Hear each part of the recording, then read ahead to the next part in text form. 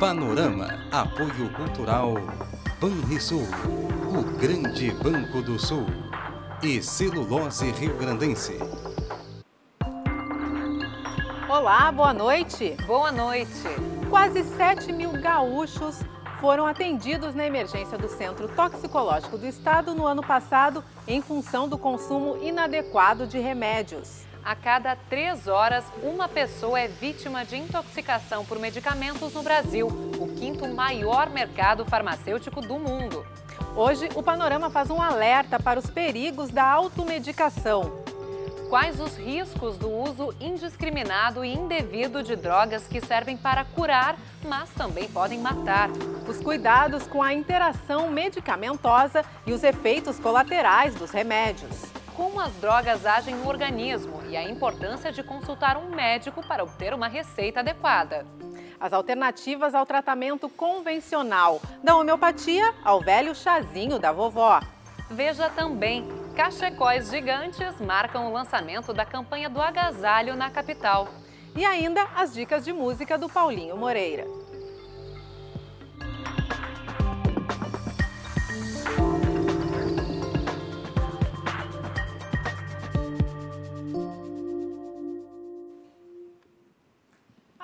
Três horas, uma pessoa é vítima de intoxicação por medicamentos no Brasil. No Rio Grande do Sul, a emergência do Centro de Informação Toxicológica atendeu no ano passado mais de 22 mil casos de exposição a agentes tóxicos, 30% deles decorrente do consumo de remédios. A automedicação é uma cultura no país e até pode proporcionar alívio ou melhorar sintomas de algumas doenças. Mas atenção, os riscos podem ser maiores do que você imagina. Entre 2002 e 2012, 86 gaúchos morreram devido à intoxicação por remédios. Quinto maior consumidor de remédios do mundo, o Brasil está no centro das discussões sobre a automedicação um fato comprovado nas ruas. Agora, no inverno, a gente está sempre gripado, a gente toma, né? Para dar um ânimo, né? Procuro não fazer isso. É, sempre seguir a orientação do médico quando necessário. Né? Normalmente só dor de cabeça, coisas básicas. O hábito de buscar a farmácia antes de ir ao médico aparece nas pesquisas. Segundo o Datafolha de 2014, 76,4% da população tem esse costume. Além disso, 32% aumenta a dosagem para acelerar a cura. Mas essas atitudes representam sérios riscos. Dados do Cinetox, uh, do, Sistema Nacional de Intoxicação, mostram que desde 1994 os medicamentos estão no topo do ranking de intoxicações. Tem um dado interessante da Bifarma que morrem em torno de 20 mil pessoas por ano pelo uso inadequado de medicamentos. Então, desde reações adversas, uh, uh, intoxicação é um risco importante. E outros transtornos que podem, outras morbidades, comorbidades que podem ocorrer devido ao uso inadequado de medicamentos. Os remédios de tarja preta são aqueles em que a receita é retida no estabelecimento e os de vermelha exigem a apresentação dela sem a retenção. Os antibióticos, por exemplo, passaram a ser controlados, pois o uso indiscriminado levou à criação de superbactérias resistentes ao medicamento.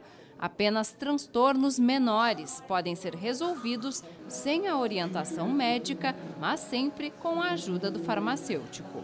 Os antigripais, eh, medicamentos que ficam fora, ficam no alcance do cliente, eu acredito que não tenha problema nenhum. Agora, os antibióticos e medicamentos controlados têm que ter o acompanhamento médico, a indicação médica, porque são medicamentos que, se não tem o médico junto, pode causar uma dependência e o uso errado.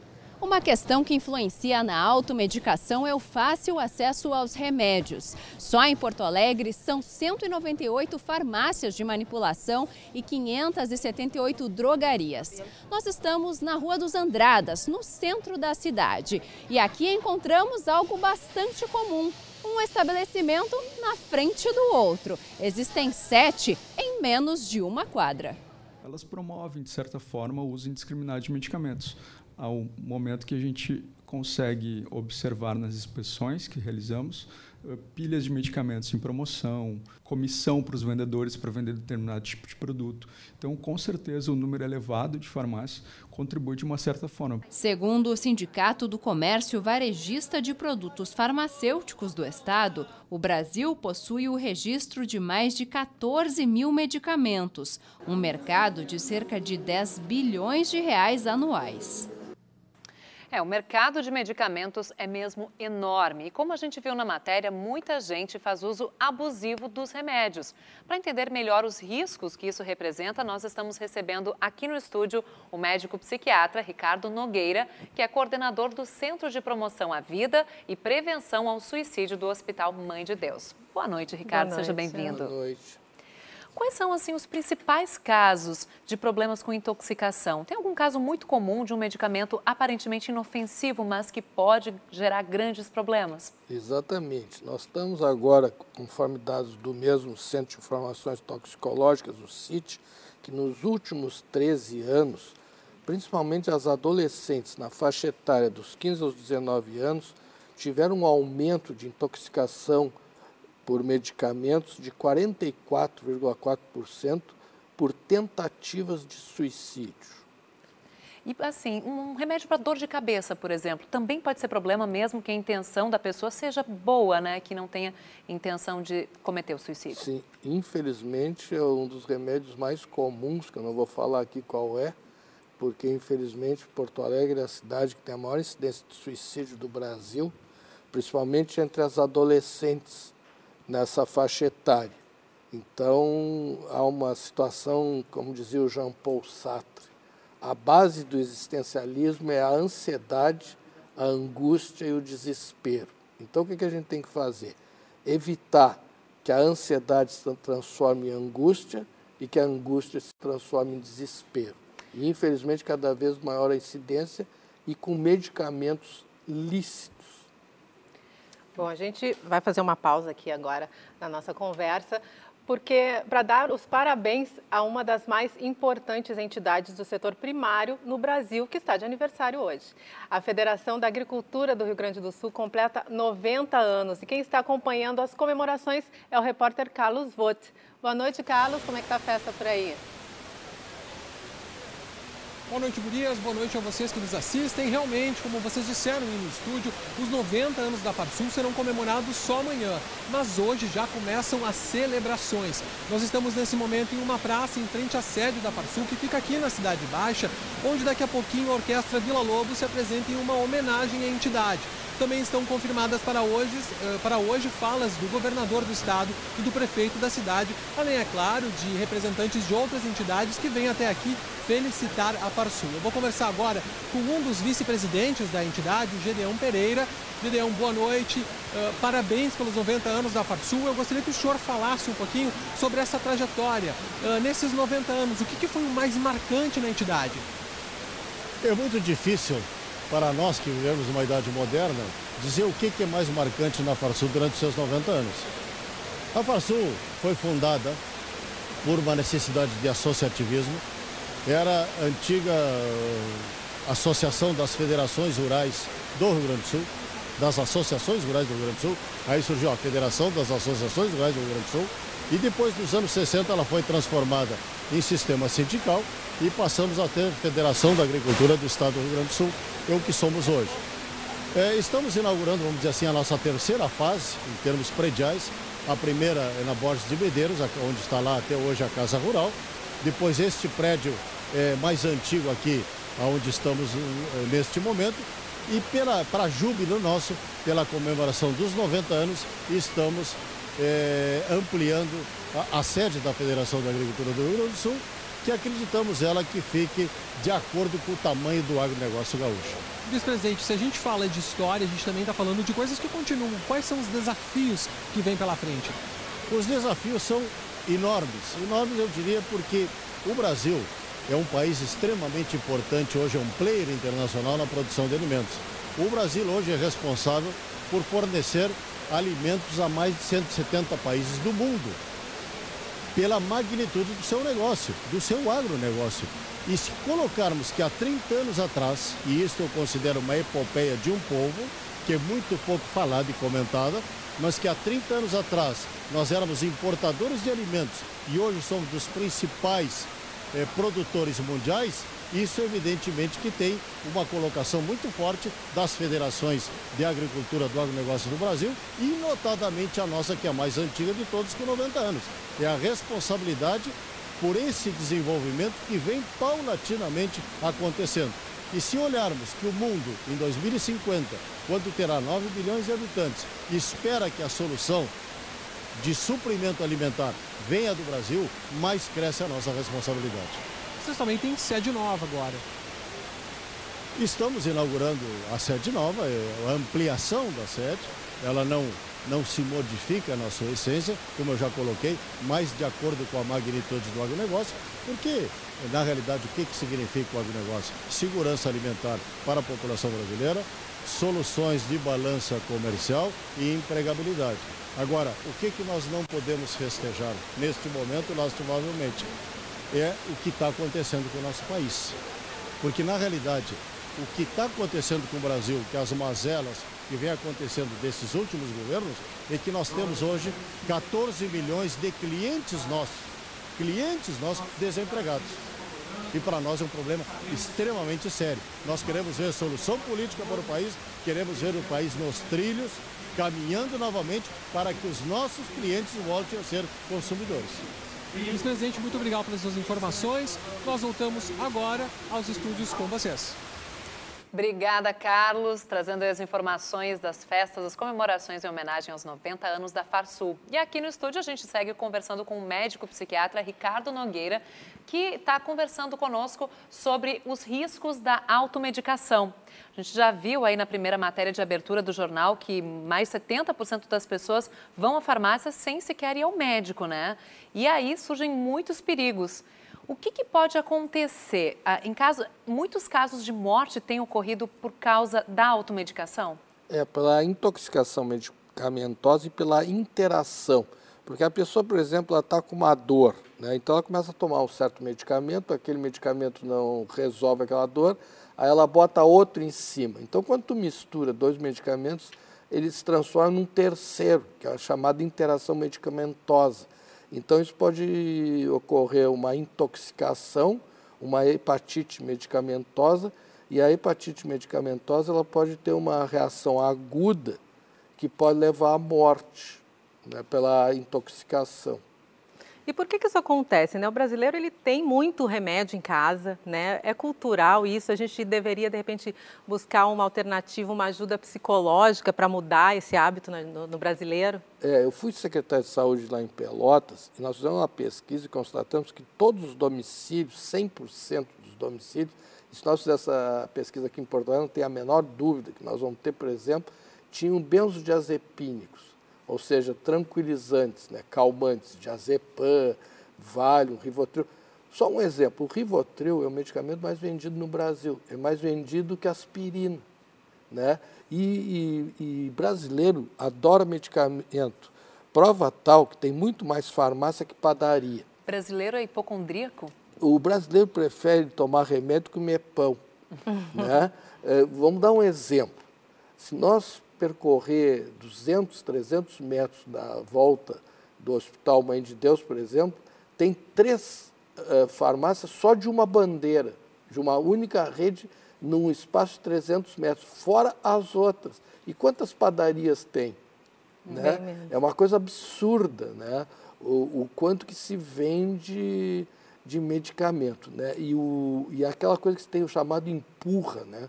Tem uns medicamentos que são estimulados pela indústria que os balconistas uh, vendam, que é chamado empurra. São aqueles medicamentos uh, populares. E esses medicamentos eles são um engodo. Tem um medicamento que é vendido no Brasil há 200 anos, que ele, é, a base dele é álcool. Então os velhinhos tomam porre de álcool num medicamento. Ele, esse medicamento está há 200 anos no mercado. E alguns desses que o senhor citou são vendidos só com receita, né? Quer dizer, de repente pois tem é, um problema esse, aí também? Esse tem, esse tem um fenômeno, eu que já estou ficando velho, eu gasto mais dinheiro em farmácia do que em supermercado. Então eu sou rato de farmácia. Então eu chego na farmácia e tem uma fila. E o que me chama a atenção que nessa fila, mais da metade da fila, as receitas são todas azuis. E lá em Pelotas, também, quando eu fui secretário de saúde, nós constatamos que havia um mercado de receita azul. O pessoal vai em vários postos de saúde, tendo várias consultas para pedir o mesmo medicamento. Então, eles têm verdadeiros carregamentos, principalmente de tranquilizantes, eh, os diazepam da vida, né? E vendem. Né? Existe um comércio de medicamento, e medicamento lícito. Né? Pois é. é então, e eu tenho essa experiência, eu sou médico, meu pai era balconista de farmácia. Então eu ia visitar meu pai todas as manhãs com a minha mãe para levar um lanchezinho para ele. Aí eu chegava lá e ele usava um jaleco branco com o nome Doutor Nogueira.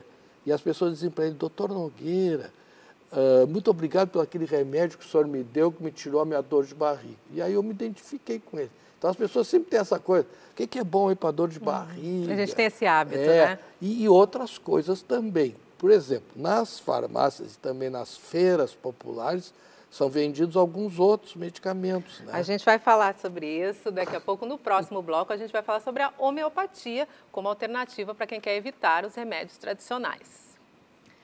E candidatos ao Enem, atenção! Amanhã é o último dia para pagar a taxa de inscrição de 82 reais. Confira outras notícias no resumo desta terça-feira.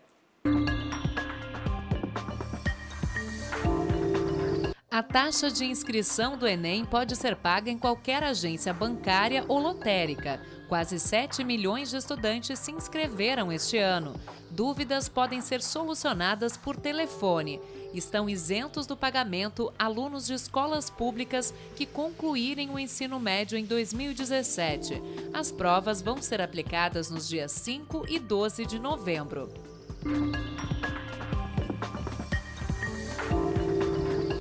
E o Hemocentro do Estado precisa de doações para repor os estoques de sangue, principalmente dos tipos O positivo e O negativo. Para doar é preciso ter entre 16 e 69 anos, pesar mais de 50 quilos, estar em boas condições de saúde e apresentar documento oficial com foto. As doações podem ser feitas de segunda a sexta na sede do Hemocentro, que fica em Porto Alegre, na Avenida Bento Gonçalves, número 3722. E agora vamos falar de música e música da melhor qualidade.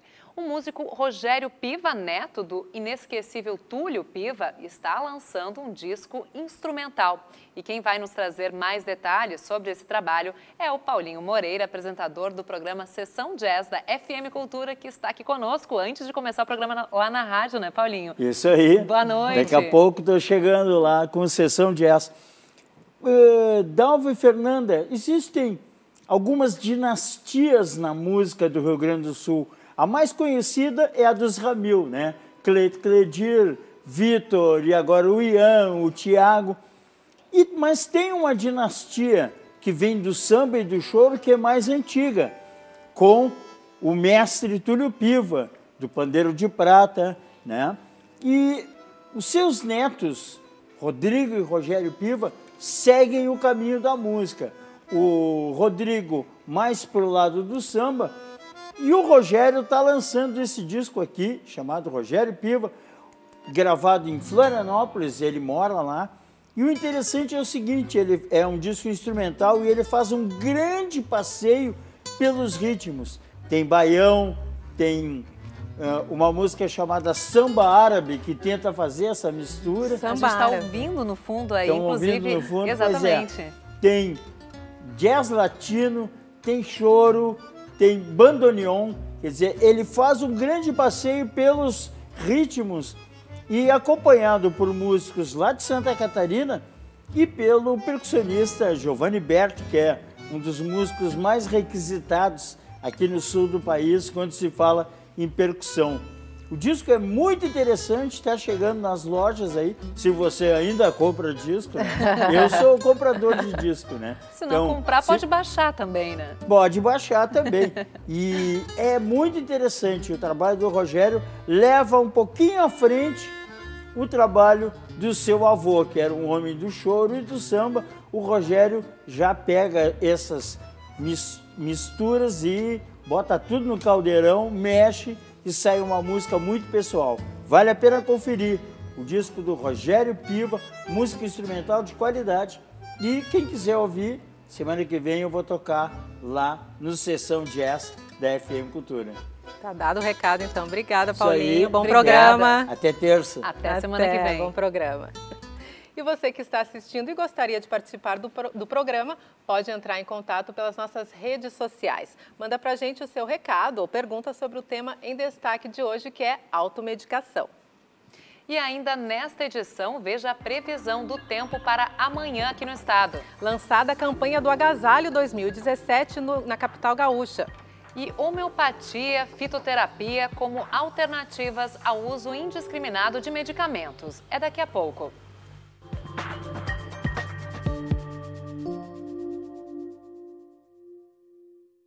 E nós estamos de volta com o Panorama, que hoje destaca os riscos da automedicação. No primeiro bloco, nós vimos que muita gente corre para a farmácia sem consultar um médico, mas também tem paciente que prefere ficar longe dos medicamentos convencionais. É, e aí uma boa alternativa pode ser a fitoterapia, baseada no poder terapêutico das plantas, um tratamento mais antigo que o chá da vovó.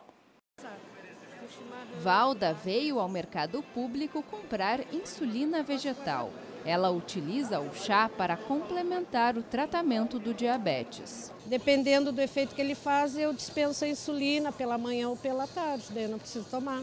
As plantas medicinais têm atividade terapêutica. Elas são a base para a fabricação de medicamentos fitoterápicos, que, por serem elaborados seguindo normas técnicas, possuem efeitos mais controlados.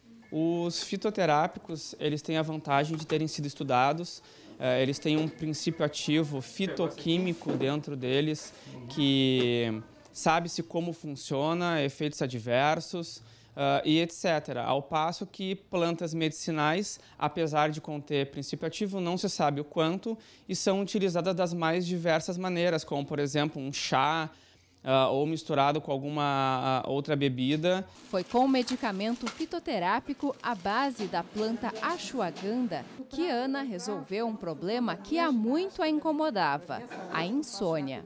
Eu percebi assim, ó, que eu, que eu consegui ficar mais tranquila e, e tive um sono muito mais reparador do que eu, não, que eu, não, eu tinha antes.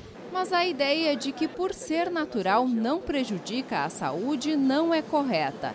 Tanto as plantas medicinais quanto os fitoterápicos podem provocar reações quando utilizados de maneira indiscriminada. Plantas medicinais elas, uh, e fitoterápicos uh, têm ação né, têm ação uh, no seu funcionamento uh, e podem causar problemas. Uh, por exemplo, existe uma planta chamada cáscara sagrada, que é utilizada para melhorar o trânsito intestinal. Tem pessoas que são mais sensíveis a ela, ela pode causar diarreia, pode causar irritação.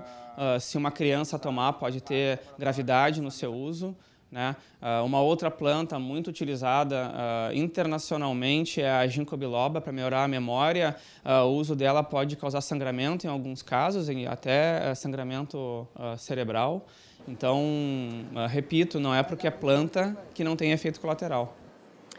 Pois é, aqui no estúdio a gente continua conversando com o médico psiquiatra Ricardo Nogueira, que é coordenador do Centro de Promoção à Vida e Prevenção ao Suicídio do Hospital Mãe de Deus. Bom, doutor, o que, que o senhor pensa sobre a fitoterapia?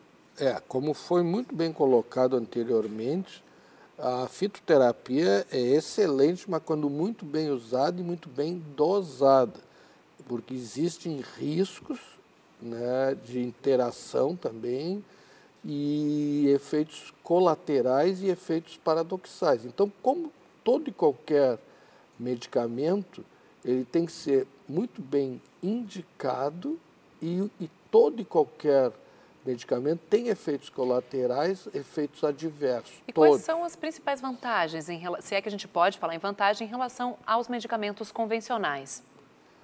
Pois é, é que na verdade hoje até as próprias drogas hoje, as chamadas drogas ilícitas, elas estão vindo para o mercado de uma forma sintética, né, sendo produzida em laboratório. Né? É assim, a, a, gente gosta de tudo que é natural, mais natural. Né? Uhum. Mais natural. Os próprios alimentos, né?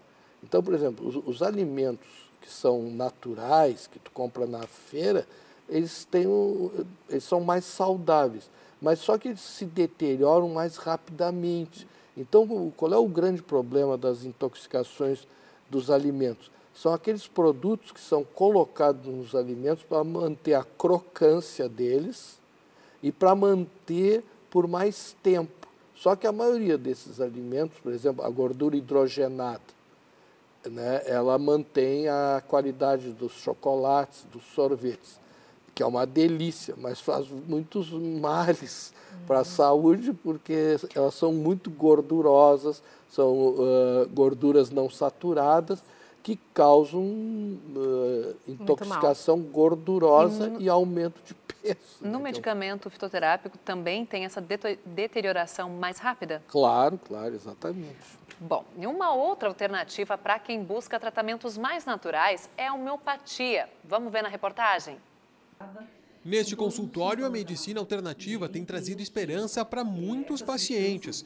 Quem antes estava desiludido com tratamentos convencionais, encontrou na homeopatia uma forma de revidar a doença e dar a volta por cima. O grande benefício que eu acho que a homeopatia traz é na patologia crônica.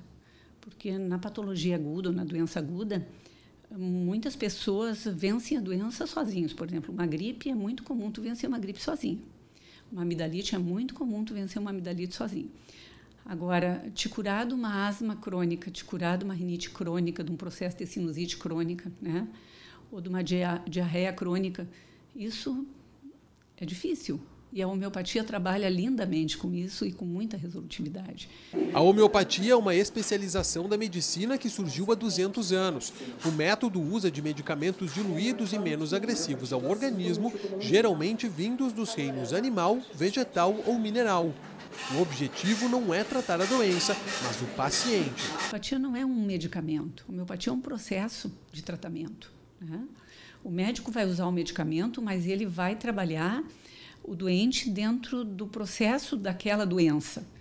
Então, às vezes, é mais do que um medicamento, é uma sucessão de medicamentos que precisam ser usados até adquirir o processo de cura completo. Em países desenvolvidos, o uso de medicamentos homeopáticos já é feito por cerca de 80% dos pacientes. Com o crescimento do mercado, alguns estabelecimentos passaram a apostar também nessa veia da medicina. É o caso desta farmácia de manipulação no bairro Menino Deus, em Porto Alegre, que na busca por tratamentos menos invasivos tem fidelizado a clientela. Acredito bastante em homeopatia, florais, e é por isso que eu uso. Procuro sempre o médico homeopata. Minha ginecologista é homeopata. Por a homeopatia, porque é melhor. Porque os outros é meio perigoso, eu não posso tomar. Tem remédio, se não me se adapta a mim. Eu sou mais a homeopatia que é melhor. Bom, são muitas as opções, né, doutor?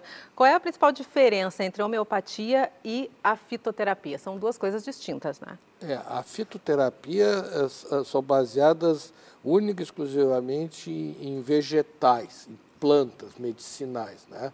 A homeopatia é o uso de medicamento em doses que são diluídas. Né?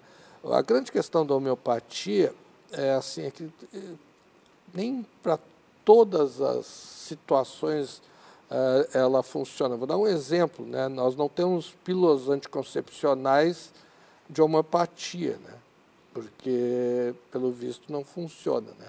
Então, a gente tem que ter um certo cuidado, e a gente gosta sempre de coisa alternativa e de algumas coisas que até nem são modismo, né? porque a homeopatia ela é centenária, né? ela é muito antiga. Né? Mas a prova tal que ela ficou num nicho. Né? A maioria da classe médica é contra o uso de homeopatia, é isso? Não, não é que seja contra, é porque ela não funciona para a maioria das doenças. Certo. Uhum.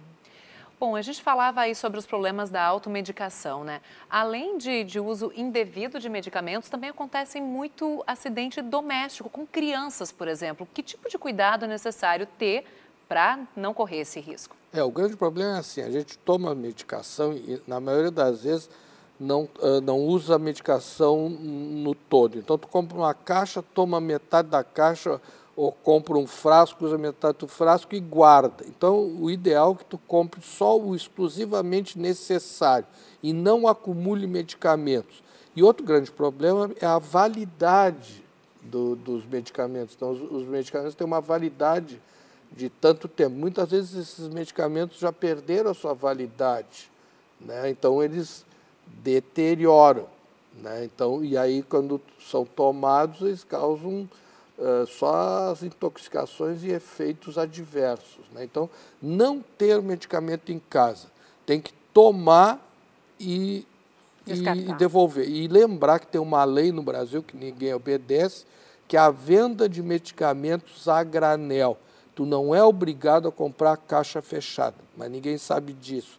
Então tem que defender esse direito e obrigar. Eu quero dois comprimidos, três comprimidos, quatro comprimidos, para não ter esse problema. Que tu gasta, inclusive, desnecessariamente e as crianças, né? Elas ficam lá furungando, depois elas ficam brincando com aquilo e aí vão tomando, né?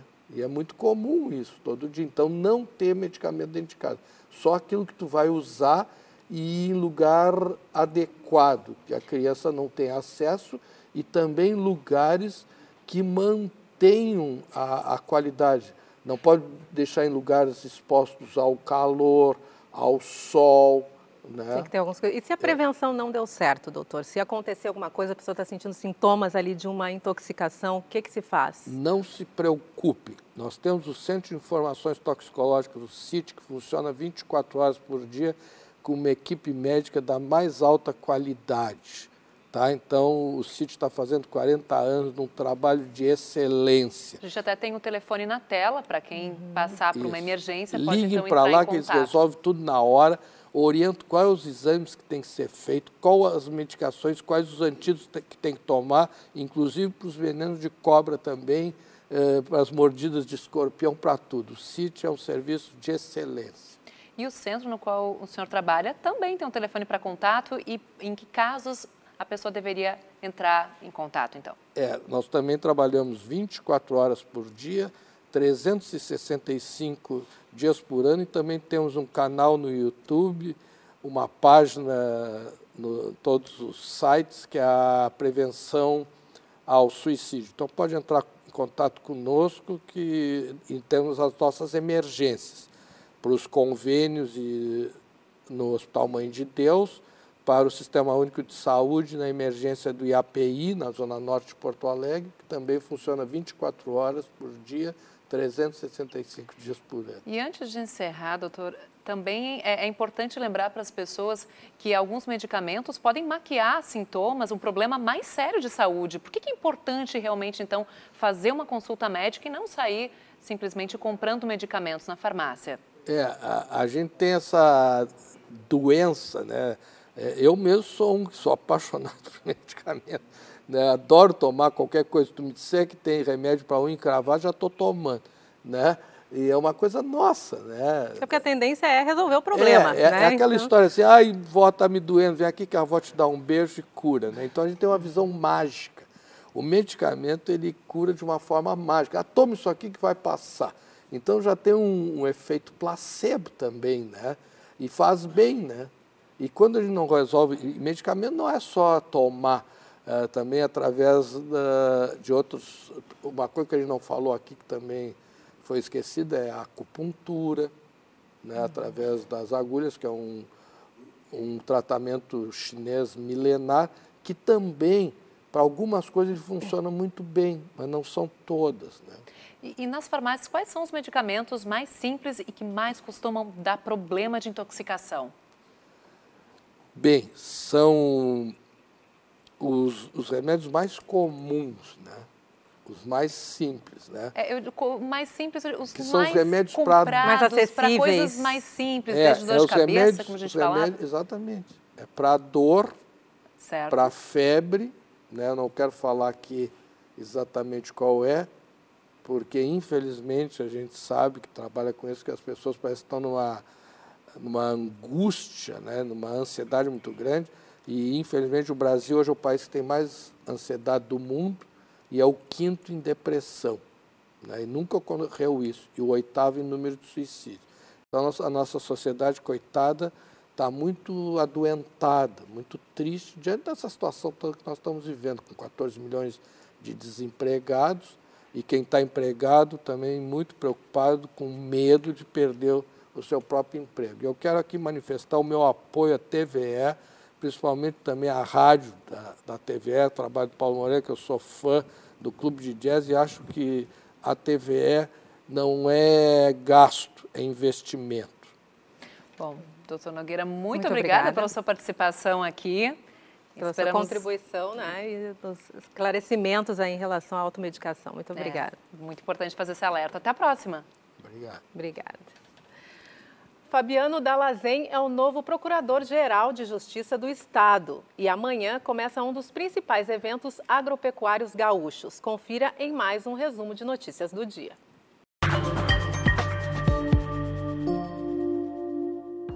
O Procurador de Justiça, Fabiano Dalazen, vai chefiar o Ministério Público do Rio Grande do Sul no biênio 2017-2019. A escolha foi confirmada hoje pelo governador José Ivo Sartori, que manteve a tradição ao optar pelo nome mais votado pelos membros do MP Gaúcho. Com quase 71% dos votos, Dalazen era o primeiro colocado na lista tríplice entregue na segunda-feira. A posse do novo Procurador-Geral de Justiça vai acontecer em 9 de junho. A terça-feira foi de muita atividade no Parque de Exposições Assis Brasil, em Esteio, região metropolitana da capital. Nesta quarta-feira, dia 24, começam a 40 Expo Leite e a 13ª FenaSul, que durante cinco dias vão mostrar o melhor da produção leiteira e dos seus derivados aqui no estado. Na véspera da abertura, além da preparação e dos cuidados com os animais, muitos criadores realizaram os trabalhos finais em estandes e espaços de exposição. E a Câmara de Vereadores de Farroupilha, na Serra, foi palco de um pronunciamento, no mínimo polêmico, durante sessão ordinária na noite de ontem. Uma vereadora declarou que nordestino não sabe fazer política, mas sabe roubar. Durante seu pronunciamento, a vereadora Eleonora Broilo, do PMDB, coloca em dúvida a competência dos nordestinos para a política. Afirma ainda que eles são corruptos e ladrões. Em relação a nordestino saber fazer política, não sei se eu concordo muito. Eu acho que os nordestinos sabem muito bem se unir, sim, para roubar. Eles sabem se unir para ganhar propina, eu acho que eles sabem se unir para aumentar a corrupção. Isso eu acho que eles são donos. Isso concordo. Plenamente. Talvez até eles não saibam, não saibam nem falar muito bem, mas sabem roubar, que é uma maravilha. De acordo com o presidente da casa, o vereador Fabiano Piccoli, do PT, alguns parlamentares estão se reunindo para abrir um processo no Conselho de Ética com o objetivo de ah. apurar a declaração da vereadora. Para a comissão ser instaurada, é necessário um terço dos vereadores, com um representante de cada partido. A punição de Eleonora pode ir desde uma advertência até a cassação do mandato. Em nota, ela disse que sua fala está descontextualizada e que se manifestou exclusivamente em referência aos políticos nordestinos, não ao povo. E faltam só três dias para o fim da campanha de vacinação contra a gripe. Para atingir a meta de 90% do público-alvo, o Rio Grande do Sul ainda precisa imunizar 600 mil pessoas. Até agora, o índice é de 70% da meta, superior à média nacional. Neste ano, já foram registradas cinco mortes por gripe aqui no estado. A reportagem da TV Univates nos traz mais detalhes sobre esse importante, essa importante forma de prevenção.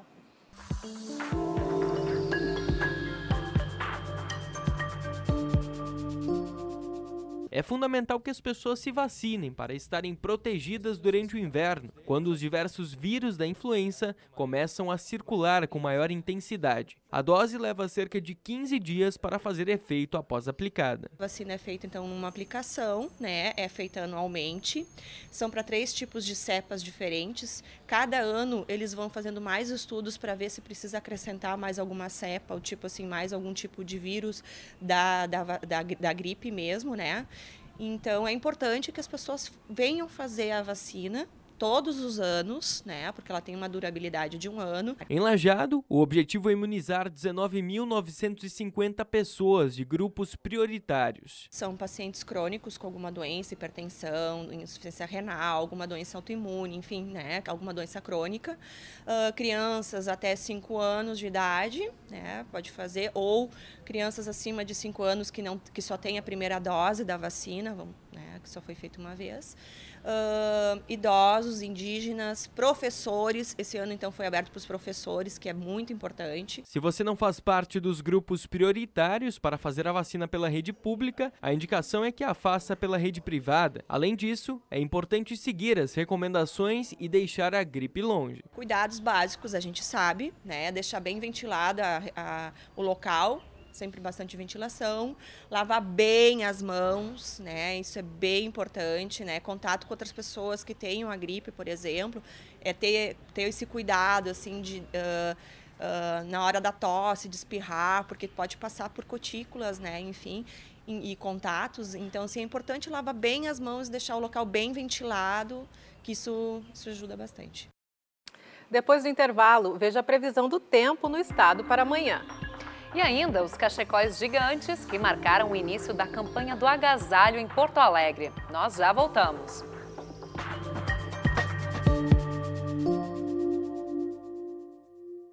O panorama está de volta e para conferir como fica a previsão do tempo para amanhã. Como a gente pode ver no mapa, a chuva continua na metade norte. Nessa faixa mais escura tem risco de temporais e pode chover a qualquer hora do dia. Já que nessa faixa mais clara, que fica entre a região metropolitana e o centro do estado, o dia intercala aberturas de sol com pancadas de chuva. Tempo firme somente aqui nessa faixa em amarelo no sul. E vamos ver como ficam as temperaturas amanhã. Elas devem subir um pouquinho mais em relação a hoje. Em Porto Alegre, mínima de 14, máxima de 25. Em Ijuí, a máxima alcança os 23 graus. E Pelotas vai ter sol entre nuvens, com máxima de 24 amanhã.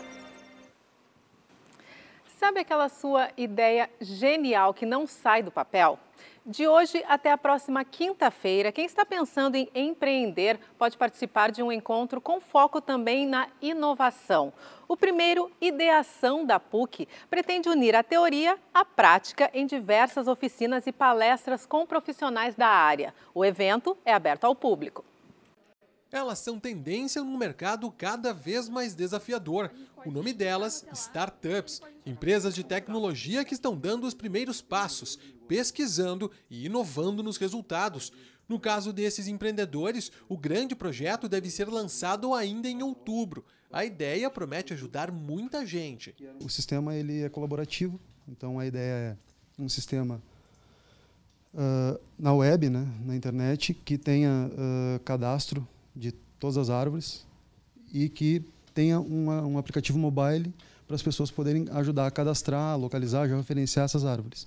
Uh, quando tu faz isso, tu já está criando uma relação que, tu, que já se perdeu na, na cidade grande, né? que é a relação das pessoas com o meio ambiente. Paralelo a isso, tu tem uma série de informações que são coletadas e que vão servir de subsídio para decisões depois até do próprio município. O assunto interessou? Então você precisa conhecer o Ideação, que começa hoje na PUC. Segundo a coordenadora do evento, o objetivo é debater o futuro do trabalho, atitudes empreendedoras e como dar o primeiro passo.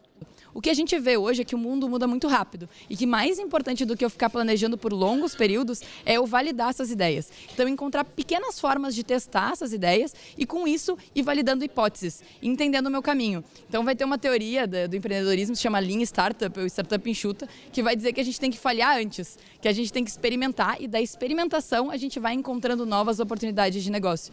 Então, não precisa de muito capital, não precisa de muito tempo, nem muito planejamento, mas precisa encontrar quais são as hipóteses que a gente quer validar com o mercado e direto encontrar os clientes. O encontro é gratuito e as inscrições podem ser feitas pelo site da PUC. cachecóis gigantes para marcar o lançamento da campanha do agasalho. Hoje, quem passou pela Prefeitura de Porto Alegre pôde apreciar o resultado da ideia. O objetivo, em termos de arrecadação de peças, está relacionado ao tempo de existência da capital. Confira no quadro Cidadania.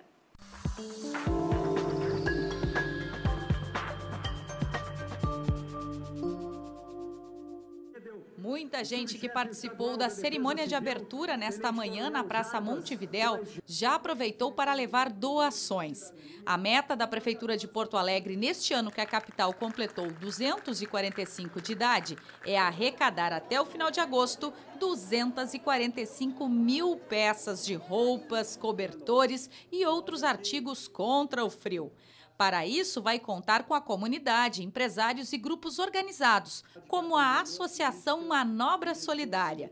Durante todo o ano, eles arrecadam doações em 41 pontos de estacionamentos da empresa Índigo e hoje doaram 12 mil peças para a campanha. Nós temos os nossos o ponto de triagem, onde a gente separa as peças feminina, masculina e infantil com parceria da FASC e da Prefeitura, a gente doa direto aonde estão necessitando. Também vão chamar a atenção pela cidade cachecóis como estes na fachada da Prefeitura Municipal. A ação é do programa Envolva-se, do SESC, que doa matéria-prima que sobra na indústria para grupos de artesanato da cidade. Os cachecóis foram tricotados pelo Clube de Reciclagem Morro da Cruz. A gente faz tapetes, almofadas, bolsas, roupas, a gente recebe encomendas, a gente cria. Esse é o nosso grande objetivo aqui, sensibilizar nossa comunidade aqui de Porto Alegre para que participe da campanha da Agasalho junto conosco. O programa Envolva-se, ele existe desde 1996 no SESC. Especialmente a unidade do SESC Comunidade aqui em Porto Alegre desenvolve ações de sustentabilidade nas comunidades e bairros da cidade. As integrantes do grupo só não estavam acostumadas a fazer cachecóis gigantes dois metros e meio de comprimento e meio metro, 50 centímetros de largura. Isso aí me faz viver. Ah, isso é muito lindo, isso é maravilhoso. Os pontos de coleta estão espalhados pela cidade em dezenas de locais, da administração pública, nos ônibus da Carris e também em shoppings, lojas e outros parceiros.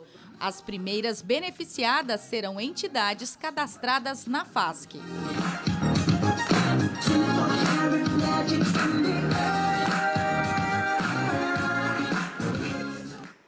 E agora a gente fala sobre um estímulo à saúde bucal que deve começar desde cedo. É quando criança que a consciência sobre higiene é formada e toda ação pode virar uma brincadeira.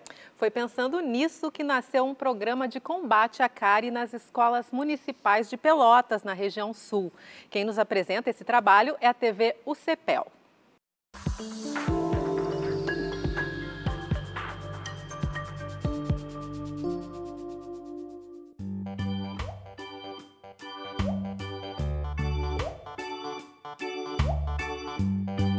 Mais um exemplo de projeto onde alunos da UCPEL podem praticar a profissão antes mesmo de se formar e, ao mesmo tempo, ajudar a comunidade. O projeto Sorrindo na Escola da Prefeitura tem participação de cinco acadêmicos do curso de odontologia. A gente está um mês aqui acompanhando as crianças, foi no início do ano, né, no finalzinho do ano passado que a gente começou. E é bem legal isso que a gente está fazendo aqui, porque é uma oportunidade única que a gente tem e é muito gratificante trabalhar com as crianças, porque o retorno é imenso que elas dão. São mais de 13 mil crianças e adolescentes de 88 escolas municipais recebendo essas orientações.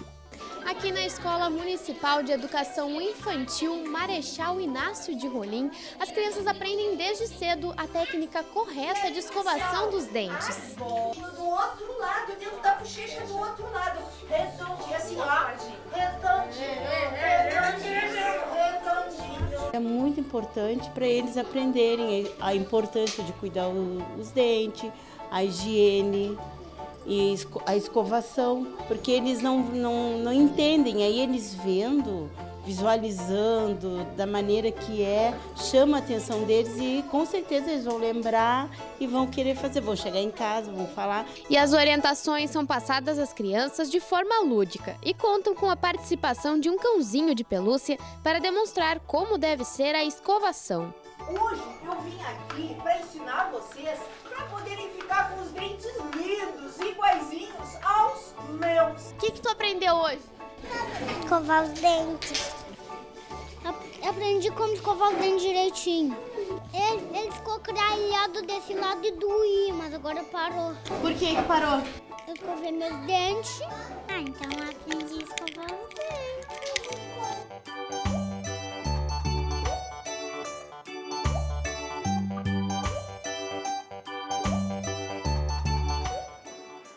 Que legal, né? Bom, e a partir de hoje, o debate TVE terá uma hora de duração. Logo mais, Lena Ruduí estará com seus convidados discutindo os cenários políticos que se formam para o ano que vem, ano de eleição. Vamos ver quem vai estar com ela no estúdio? Boa noite, Lena. Conta pra gente. Boa noite, Fernanda. Boa noite, Fernanda. Boa noite, Dalva. Boa noite, telespectadores. É, realmente, nós vamos. Política é o nosso assunto de hoje. Nós vamos receber dois deputados. O deputado Tiago Simon e também o deputado Pedro Ruas estarão aqui debatendo sobre esses novos cenários que se apresentam né, aqui no Sul. Também vamos falar de isenções fiscais, aí dos desafios que o governo e a oposição terão nesse um ano e meio aí que ainda temos uh, deste governo e também o papel da oposição neste cenário. É daqui a pouquinho, então, às 8h15 da noite, depois do Panorama. Tá certo, Helena. Obrigada. Bom programa para você. E o Panorama volta amanhã às 7h15 da noite. Até lá. Boa noite para você. Até amanhã.